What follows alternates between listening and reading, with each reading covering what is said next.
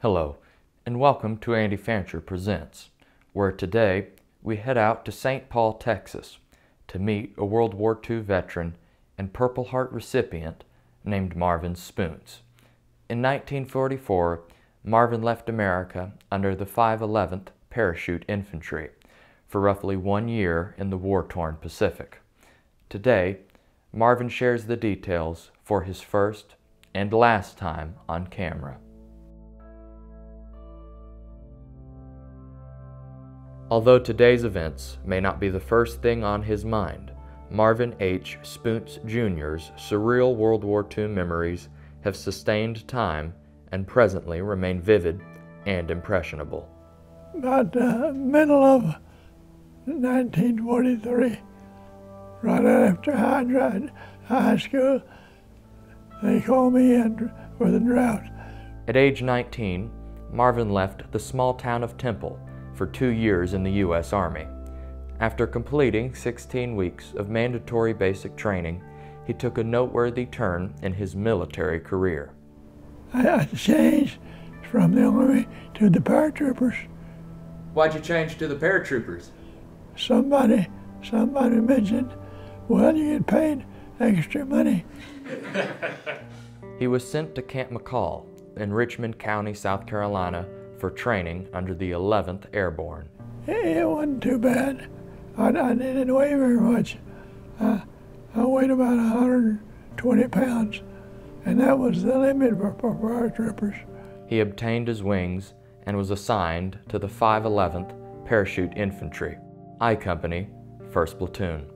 Soon after, Marvin and his unit were sent to San Francisco for deployment, unknown of their overseas destination. We pulled out into the ocean under the Golden Gate Bridge. Then we knew where we were going. After 20 days at sea, the 511th landed in New Guinea.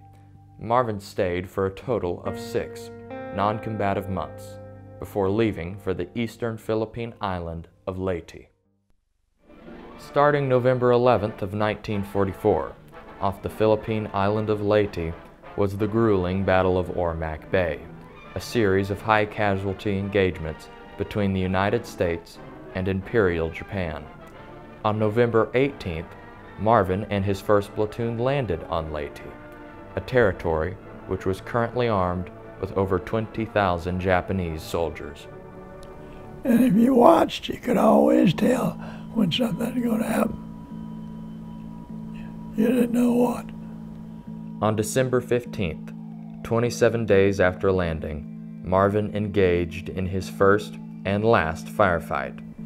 Sergeant called out, says, get your gear together. Says, it's about that time. The destination was an occupied village right off Ormoc's war-torn bay. My buddy ho- hollered at me, said, do, do you need reinforcements? I said, I haven't seen very many yet. And then, then about that time, they, they opened up on me. Imperial enemy began firing with heavy weaponry on the men of 511th. They had a bunch of palm trees all along there, and he shattered them up. It's hard to believe, but I didn't know it yet. When Marvin had extended his arm to fire his M1, an enemy bullet went straight through his wrist. My M1, it rifle was in several pieces. And my buddy says, Are you hit? I said, I don't think so. Then, then I changed my mind. I could feel that blood dripping off my fingers. Out of the 511th, 18 men were injured and 8 were killed on this day. Marvin was successfully evacuated from the area, but helplessly stayed an additional two months on Leyte, where his wounded arm became infected with gangrene. Marvin was eventually sent back to America, where he received good medical attention from four separate hospitals. In July of 1945, he was deemed no longer medically fit for the Army and honorably discharged soon after.